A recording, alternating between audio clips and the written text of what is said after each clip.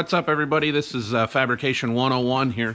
Uh, we are on our way to back to the garage to work on a current project. My two dogs are running around like crazy, like they normally do. Uh, so right now, uh, I'm working on my 1968 Bronco. I'm working on the uh, floor and transmission tunnel right now. The it's all aluminum, covering up some ugliness from the original owner. Uh, so here's my Bronco. This is my 68 Ford Bronco. Um, about all that's left that's a, that I haven't modified in this thing right now is the windshield, uh, which is folded down and covered up my old blanket. Please excuse the big mess in here. I'm I get a little crazy when I'm working on a project. So uh, as you can see, here's the uh, transmission tunnel. I just finished that all up um, just yesterday afternoon. It's still clecoed in and it'll probably be clecoed in for a while uh, until I finish everything else up. Eventually it will get held in with um, nutserts, threaded nutserts, quarter 20s. Uh, should bolt everything down nice and tight working on our, our center console here. Uh, we've got a shifter that mounts on top of this. That's why that's nice and solid. Um, not gonna be real big. Uh, come back a little bit, maybe have a little um, cubby box there, cubby box, little uh, storage box. I got some ideas in there, maybe a couple switches on top, couple cup holders, uh, but nothing too extravagant there. Um, all of this uh, aluminum that's in here right now, that stuff in the back that's not bolted down yet, uh, is all recycled. All that material came out of the truck that um, I got the engine for my Bronco out of, uh, which, uh, in case you're curious about, is a Cummins 4BT. Um, so the first step we got to get to to making this um, center console uh, is we got to figure out our length, um, cut out some cardboard, uh, come up with a, a template or a pattern uh, see if we can come up with something that works before we start cutting up some material. So first things first, find some cardboard. All right, so we got a simple, that one's pretty simple, that piece of cardboard there. Uh, just 24 inches uh, long by about seven and a quarter wide. It looks like I might want to go a little bit wider here and on the other side, so we'll look at that a little bit later. Uh, next thing we got to do is figure out a, uh, our sides. Uh, I do want to have it come forward here a little bit more. Uh, I don't think I can come super far forward because the transmission or transfer case shifters go in here. Uh, when they're leaned back, it almost touches this. So I can't go too crazy. I was thinking maybe I could put a cup holder out here. Um, but I don't think it's going to happen that way. this is going to work. And it looks like, I checked it on the other side a minute ago. It looks like it's going to work on the other side. It looks pretty good. I like that design. I think that's going to look really good, uh, made out of aluminum. It will have to get adjusted just a little bit. I want it to just clear. Uh, and then it'll bolt it in in those four spots. So once we get this uh, laid out on here, it looks like it's just barely going to be enough. Uh, we'll get to cutting with the plasma cutter.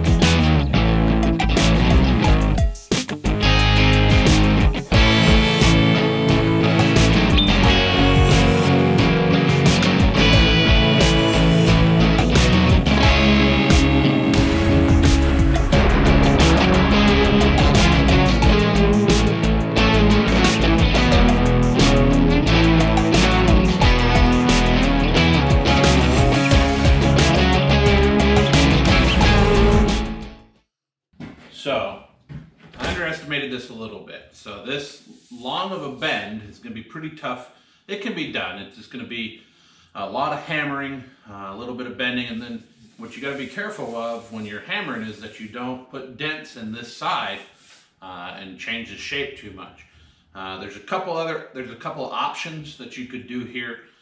Um, one would be to do a series of relief cuts in the bend uh, and then make the bend and maybe weld those up later.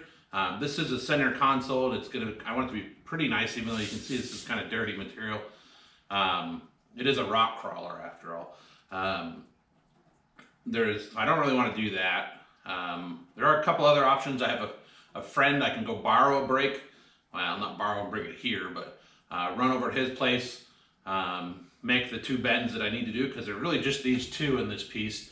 Um, I, I know I need to bend them at 75 degrees. I use my little handy dandy little angle finder guy here. Um, so that's, I think that's what I'm gonna do. Um, so we'll have to pick this up uh, after I get those bent. Uh, all right, so I got it bent. Um, it took me two trips uh, to the bender. You can see it's not quite perfect. Part of that's because not to just make not to make excuses, but uh, the bender I was using is actually was was homemade. Um, it's not perfect, but it works pretty good. Um, you can see if I look from the back, um, they stick out a little bit on each side. I did try to make it a little wider, uh, but you can see it lines up pretty good with the dash uh, and the, the lower tube in the front. So it looks pretty level and that, some of that will get cleaned up uh, as it as I make the back back and front pieces. Um, so now it's on to more cardboard work. All right, so I have my template. Looks pretty rough just because I wanted to get it fit around the tubes that are in the, the body. Um, it does fit. It fits pretty good. Um, you, the templates need to be pretty close to what you want. You you will have some wiggle room, wiggle room uh, to make them fit. So from that, I got my piece cut out and all cleaned up, um, ready to be tacked in. Uh, one important thing, um, when you're when you're welding aluminum, it needs to be really clean. Uh, and when you use a plasma cutter, it's going to leave a, an oxide layer that's it's it, you can weld through it, but it's going to leave some contamination in your weld. If you want nice clean welds, you need to take the time to clean that off. Um, also, any Sharpie marks uh, where you laid things out are going to get in the way of your welds. Uh, I am not welding down here. This is just going to be a, a, a, edge just to close up some stuff. All my other marks are cleaned off, uh, ready to get tacked into place. Um, we use my little prime TIG um, that I just bought recently, TIG 225. Um, so far, pretty impressed with it. It's it's not a, a dynasty, which is what I'm used to working with. Um, but for, Jesus, an eighth the cost, easy. Um, I got a pretty decent little machine. Uh, so we'll get set up here and we'll get these tacked into place. All right, we got it fit in there. You might notice it's not fit perfectly all the way around. Um, that's something you can kind of tweak your way in as you move your way around with the tack welds. So we'll set you up here. Uh, that's a good view. Uh, we'll start doing some tack welds.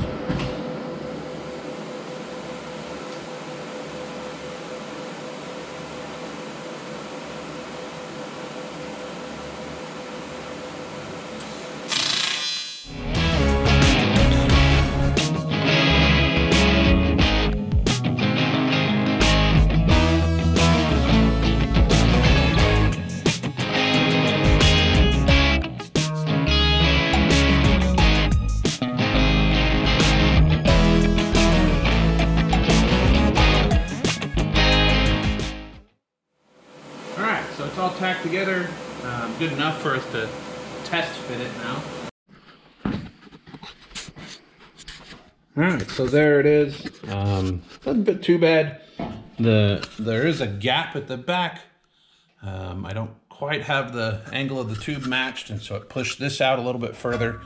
Um, that's nothing I can't can't deal with. Um, pretty pleased with the way it fits. You like I like how it closes up the the back here. Um, not that you'll be able to see this anyway, because um, the fuel tank is going to go right in this space right here behind the, the driver's seat area. You can see it's got a little bit of a bow to it. It is sitting pretty level, so uh, overall pretty pleased with the way this is coming out so far. Um, I'm going to still gonna be cutting some holes in the top of it, but I think I'm going to wait and do all that stuff uh, until after I've got it fit the way I want it to fit, and then I'll probably mess it up and ruin it by cutting holes in it.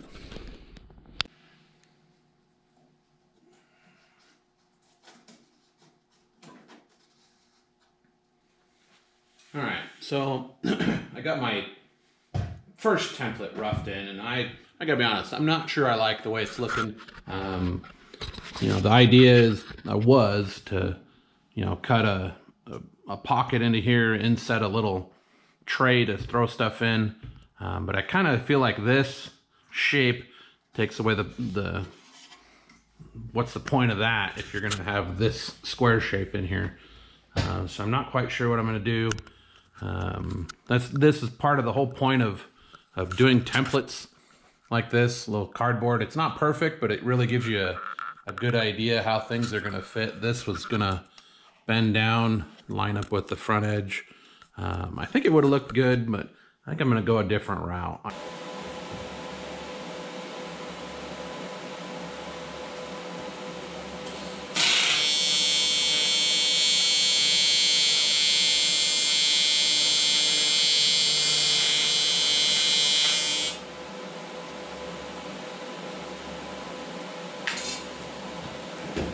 Well, as you can see, I didn't go with the route I had earlier. I decided I didn't really like the way that was coming out. Um, I like this. I think I'm just gonna put a little lip here on the front, and it'll give me my tray all the way across. Um, I think it's pretty good. I'm pretty happy with it. It fits in the Bronco the way it should.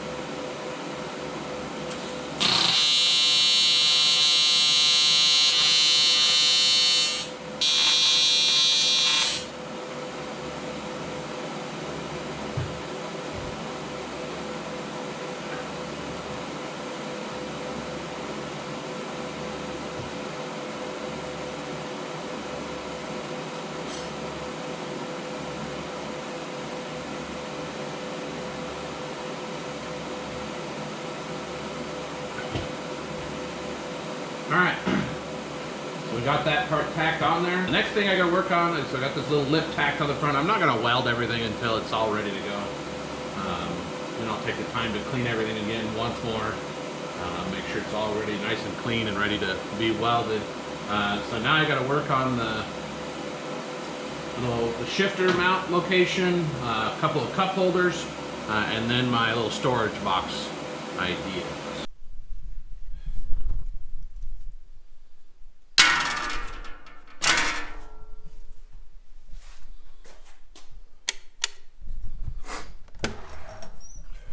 Going to do it for this first episode of Fabrication 101. I appreciate you guys uh, tuning in. I, I can only imagine that uh, YouTubing is a lot like welding and fabrication. Uh, the more you do it, the better you're going to get at it. So uh, I'm going to keep working at this, uh, keep trying to improve. Uh, until then, if you like this stuff, give me a like and subscribe. Thumbs up if you have any comments or questions or suggestions. Feel free to leave them in the comment sections below. Um, until next time, you guys, do me a favor, do yourself a favor, and go build something.